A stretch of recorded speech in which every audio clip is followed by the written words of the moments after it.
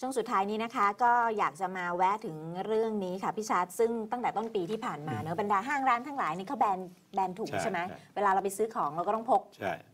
ถุงผ้าอะไรกันไปเองใช่ไหมคะ ก็ปรากฏว่ามีทางหอการค้าไทยนะคะรองประธานหอการค้าไทยคุณสุรงค์บุรกุลเนี่ยบอกว่าตอนนี้กำลังอยู่ระหว่างการศึกษาผลกระทบจากเรื่องเนี้ย เรื่องถุงเรื่องใช้ถุงพลาสติกเนี่เรื่ย องไม่แจกถุงพลาสติกเนี่ยเอ่อเพราะว่ามี ยอดมีร้านค้าปลีกจำนวนมากเนี่ยได้รับผลกระทบจากการรณรงค์เรื่องนี้ทำให้มียอดขายลดลง อืม เพราะว่าผู้บริโภคเนี่ยลดการซื้อสินค้าลง คือซื้อน้อยชิ้นมันลงไม่มีพี่ของชาร์จะตไม่มีถุงจะหิ้ว ไม่เออหรือว่าบางคนก็บอกว่า ซื้อเท่าแค่เท่าแค่มือสองมือหยิบถือไหว อืมคือไม่ได้ใครใครจะพกถุงไปตลอดเวลาอ่า ประมาณเนี้ยนะคะ ก็บอกว่า โดยเฉพาะอย่างยิ่งกลุ่มที่ไม่ได้นำถุงผ้าติดตัวมาด้วยค่ะ คุณสุรงค์บอกว่าเบื้องต้นจะส่งเสริมให้ใช้ถุงกระดาษ อ่า แล้วว่าถุงพลาสติกบางที่ย่อยสลายได้ ใช่ รวมถึง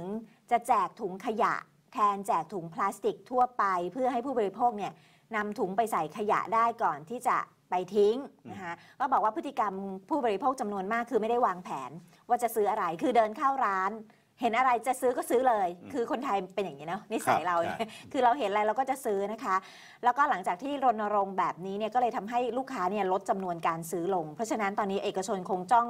ร่วมกันหามาตรการมาจูงใจ ให้ผู้บริโภคซื้อสินค้าต่อไปค่ะพี่ชาร์ตนะคะก็บอกว่าจริง ๆ อาจจะไม่ใช่แค่เรื่องนี้เรื่องเดียว อาจจะมีเรื่องภาวะเศรษฐกิจชะลอตัวลงด้วย อาจจะมีเรื่องฝุ่น PM 2.5 แล้วก็หลายๆเหตุปัจเรื่องจัยไวรัสโคโรนาด้วยพี่ชาร์ตผมก็ คือปกตินะผมเคยอยู่กับหลายรัฐบาล เวลารัฐบาลเศรษฐกิจแย่เนี่ยรัฐบาลจะไม่พูดเองว่าแย่ ก็จะอาศัย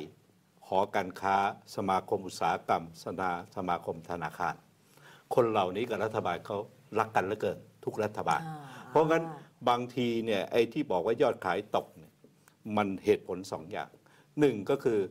เศรษฐกิจมันไม่ดี และอาศัยปากพวกนี้มาช่วยพูดอ่าแล้วก็หายเหตุค่ะ เป็นเรื่องอื่นค่ะนี่ก็อาจจะเป็นได้ค่ะนี่อันค่ะที่หนึ่งอืมอันที่สองผมว่าถุงพลาสติกไอ้ที่เราหิ้วหิ้วเนี่ยตัวสำคัญอีกอันหนึ่งคือแพคเกจิ้งคุณลองเข้าไปดูในห้าง คุณลองเข้าไปดูในในในไอ้สะดวกซื้อทั้งหลายค่ะอะค่ะพลาสติกเต็มเลยใช่ยังไม่รวมกับขี่มอเตอร์ไซค์ส่งอาหารนะ delivery เดลิเวอรี่ไม่ว่าจะเป็น Grab ก็อะไรแต่ละแพ็กเนี่ยพลาสติกเต็มไปหมด ซึ่งอันนี้เป็นสิ่งที่ญี่ปุ่นเจอปัญหา หลายประเทศเจอปัญหา เพราะว่า คุณไปลด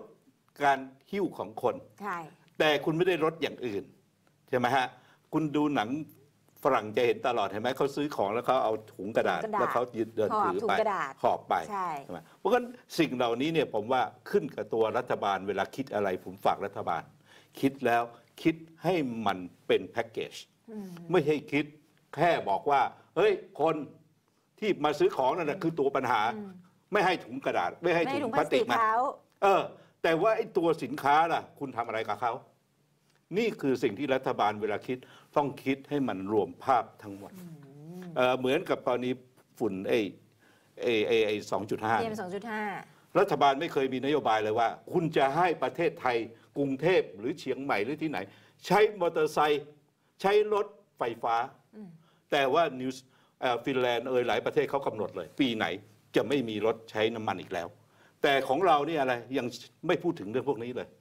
ถูกไหมปตทก็ยังคงขายน้ำมัน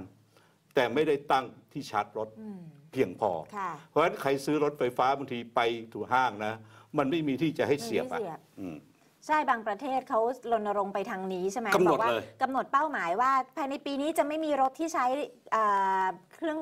น้ำมันน้ำมันแบบดั้งเดิมใช่ แล้วก็เขาจะมีมาตรการเสริมอย่างเช่นว่าใครที่เปลี่ยนรถมาเป็นรถไฟฟ้าอะไรแบบเนี้ยเขาจะให้เงินอุดหนุน เพื่อที่จะให้คนหันมา เพราะว่าราคาหรืออะไรบางทีคนรัก็ฐบาลอยากต้องจะสเปนับลี่ยสนุนไม่ไหว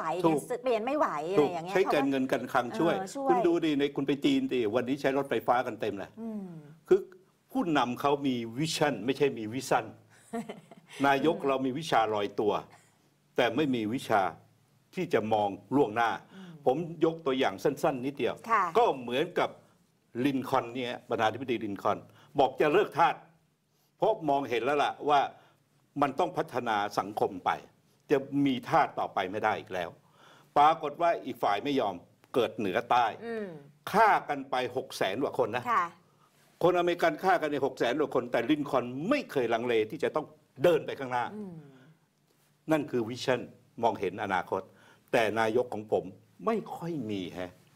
ไอ้ที่พูดนะตอนแกรัฐประหารนะมีวิชั่นนะค่ะ โอ้โห สุดยอดเลยเฮกันหมดเลย ค่ะ จะปฏิรูปก่อนเลือกตั้งจะนู่นจะนี่แต่ถึงเวลาไม่ทำอืมนี่คือน่าเสียดายจะเป็นวีรบุรุษก็ไม่เป็นอะนั่นสินะคะ กลายเป็นเสียดาย เสีย ค่ะอะ หมดเวลาแล้วค่ะพี่ครับ ชัดนะคะ ก็เดี๋ยวสัปดาห์หน้ามาคุยกันใหม่กับ News Hour ชั่วโมงข่าวสุดสัปดาห์นะคะ ขอบคุณพี่ชัดด้วยนะคะ ขอบคุณยินคุณดีผู้ชมครับด้วยค่ะครับสวัสดีค่ะ สวัสดีครับ